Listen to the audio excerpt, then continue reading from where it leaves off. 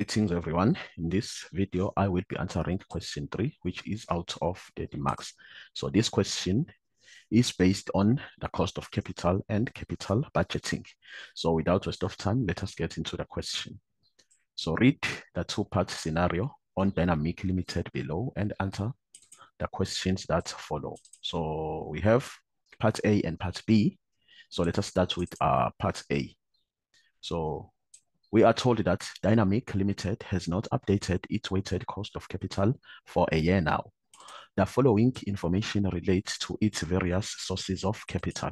So we are given various sources of capital. So the first source of capital uh, we are given is the equity capital. So regarding this um, source of capital, we are told that the firm has 1.5 million shares in issue with a par value of one rand. So guys, uh, we have 1.5 million, which is the number of instruments, number of shares already in issue, and each um, has a par value or issue price of one rand. The last traded price of Dynamic Limited equity share was 2 rand 50. So 2 rand 50 is the recent share price.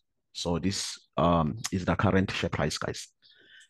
The risk-free rate of the firm is 6.5% and the market return is 16%. Dynamic Limited equity beta is equal to 1.35. So remember when we had our lesson, I told you that um, the cost of equity can be calculated using three methods. So the first one is dividend growth model or yeah, dividend growth model. And the second one is capital assets pricing model, CAPM. And the third one is the bond yield plus risk premium um, model.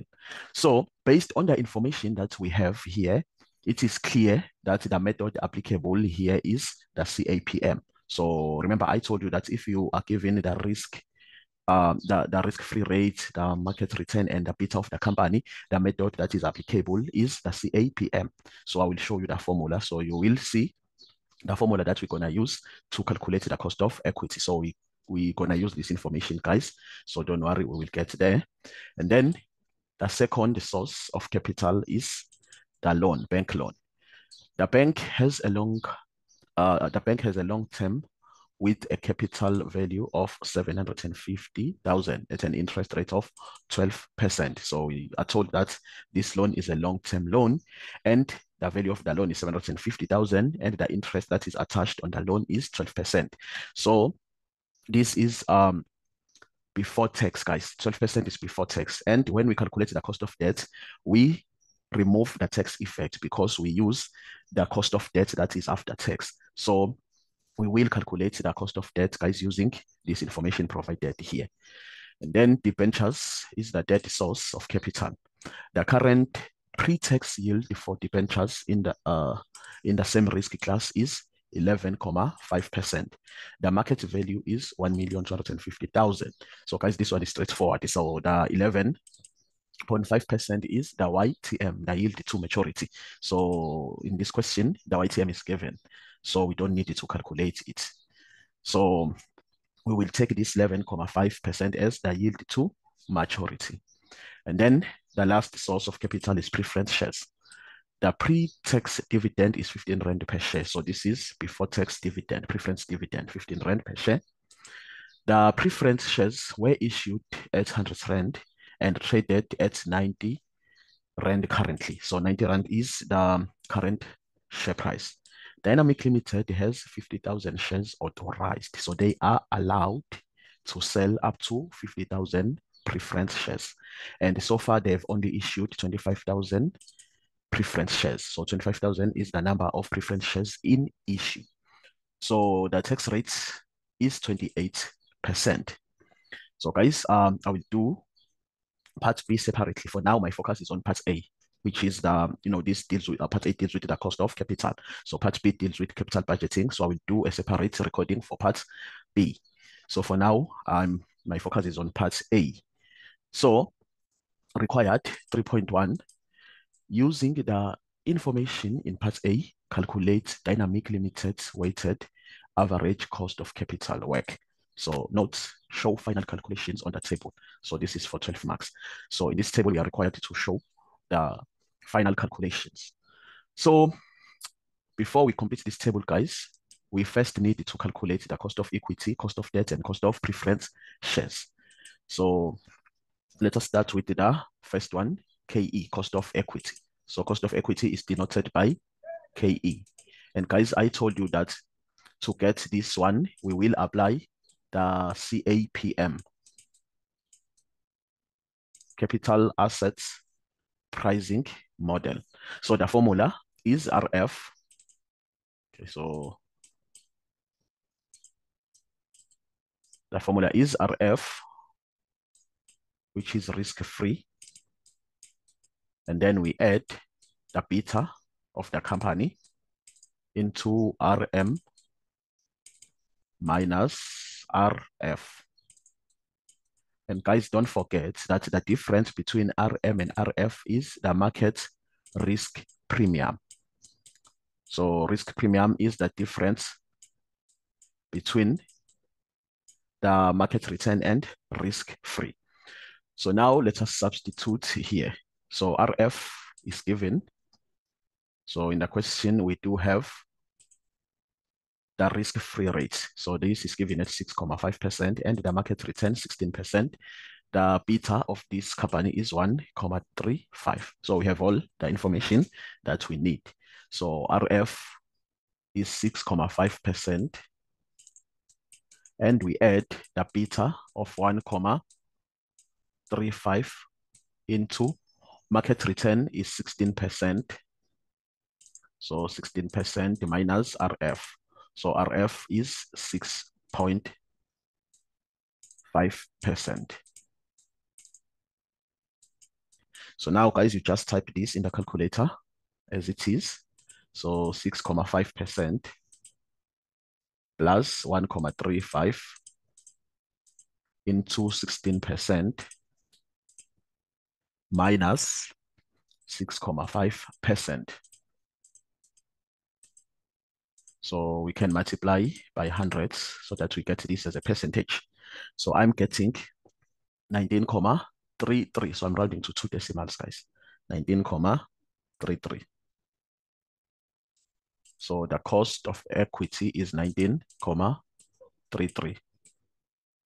So guys, this means that the providers of funds will not accept anything less than 19.33%. So they won't take any return that is less than this um, rate, 19.33. And then the next one is KD, so cost of debt. So guys, we've got two debts in the question. The first one is the loan.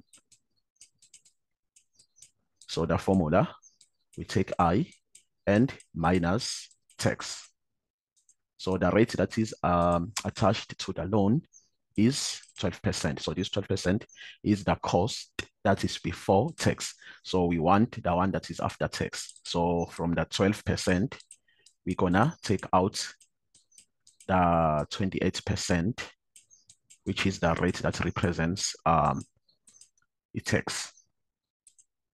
So 12 into 1 minus 28%. So I'm getting 8.64%. So this is the after-tax cost of debt, 8.64%. And then the next one is the cost of debentures, which is also um, a component of debt. So now we are calculating KD for debentures. So KD for debentures, we take the yield to maturity rate YTM. So it's YTM minus tax.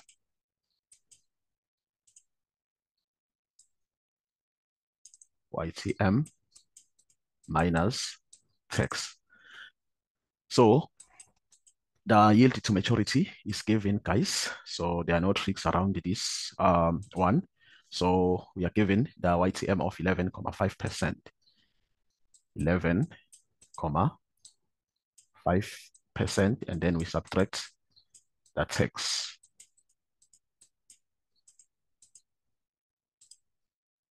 Eleven comma five into one uh, into one minus 28%. So the after tax cost is 8 comma 28. So we have 8 comma 28 percent. So guys, um, don't forget that if this is not given, so if YTM is not given, you will be required to calculate this rate, YTM. So you can use the financial calculator. So if you don't have financial calculator, you can use the formula that I will show here. So to get the YTM, we take the coupon payment, we add the par value minus market value all over n, which is the period. And we divide this, okay, I don't have space, so we divide this by PV plus MV, market value, divide by 2. So this is the formula that we use, guys, if the YTM is not given. So you can use the financial calculator or stick to the formula that I've shown here. So, but um, in this question, we are not required to use this formula because YTM is given. Then the last cost is KP, cost of preference uh, shares. So the formula for this one is preference dividend divided by current share price. So if we have flotation cost, we subtract the flotation cost. So the dividend amount is 15 rand and the current share price is 90 rands. So we have 15 divided by 90. Obvious, we multiply by 100 so that we get this as a percentage. 15 divided by 90 times 100. So for this one, I'm getting 16,666. So I'll run to two decimals. So this will be 16,67 percent. So now we have all the cost. So we're to need this in the calculation of WACC, guys. So that is why we uh, first calculate this cost. So now let us complete the table that is given. So now we are completing the table. So we've got four sources of capital. So the first one is equity capital. So we need the market value of the equity capital. So to get the market value, guys, we will simply take the number of instruments in issue. So the number of instruments, number of shares in issue is 1.5 million shares, and we multiply them by the recent share price, or you can say current share price of 250. So this will give us the market value of um, equity. So we take 1.5 million shares, we multiply them by the recent share price of 2 rand 50. So we type this in the calculator, 1.5 million times 2 rand 50. So I'm getting 3,750,000. 3,750,000. And then the second source is loan. So this is a debt, guys. So do we have the value of the loan? So we're gonna check if this is given. So yes, we do have the value of the loan. So this loan has a value of 750,000. So we have 750,000. And then the debt source of capital, we have debentures. So this is also a component of debt. And we do have the market value given in the question. So the market value for debentures is 1,250,000 One million two hundred and fifty thousand. So the last one, we have preference shares. So the value for preference shares is not given, so we have to calculate it. So we have to calculate the value for preference shares. So we will simply take the number of preference shares in issue. So that is um, 25,000 shares in issue.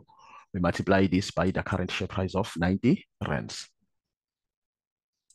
So 25,000 preference shares in issue, we multiply them by 90 rands. So this will give us the value of preference shares. So 25,000 multiplied by 90 rands. So the value is 2,250,000.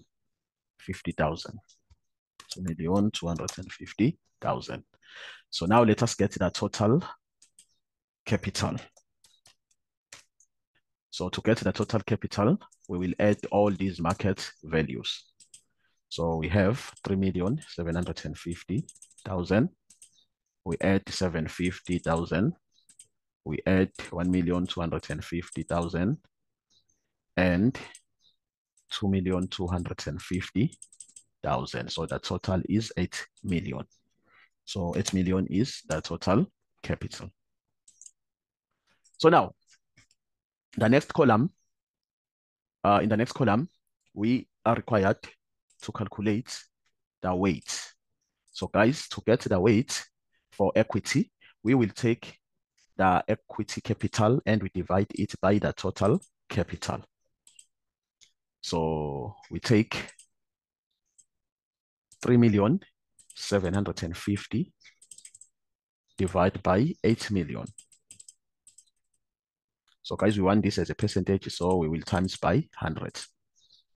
So the weight for equity capital is 46,875%. So the weight for this one is 46,875%. And then the weight for loan, we will take the 750 loan capital and we divide it by the total capital of 8 million. So for loan, we take 750 divided by 8 million times 100. So for this one, I'm getting 9,375%. 9,375%.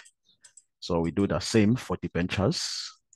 We take the capital divided by the total of 8 million. So for this one, we have 1,250 divided by 8 million times 100. So the weight is 15, 625. 15,625%. Then the last one, we take this capital divided by 8 million. So 2 million 2,250 divided by 8 million times 100 the weight is 28,125%. 28,125%. And guys, your weight must always add up to 100%. Then in the fourth column, we are required to show the cost attached to each um, capital component. So we have calculated this cost. So the cost for equity is calculated here. So we got 19,33. So for equity, we have a cost of 19.33%. And for loan, we got a cost of 8,64%. 8,64%.